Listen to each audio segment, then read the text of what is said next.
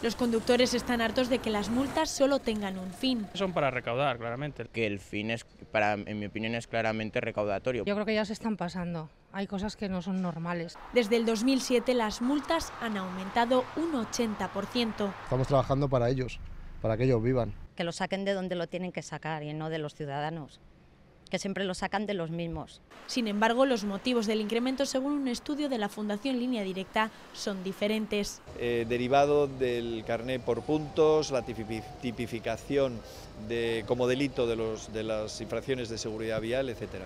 La mitad de ellas las ponen por no hacer caso a los radares. Se pone la, la Guardia Civil donde se pone siempre casi está medio escondida. Sin embargo, otros exigen más control. El 31% de los encuestados piensen que hay que endurecer el sistema de sanciones con algunos comportamientos, como por ejemplo el, consumo de alcohol. Zamora es la provincia más cautelosa de toda España.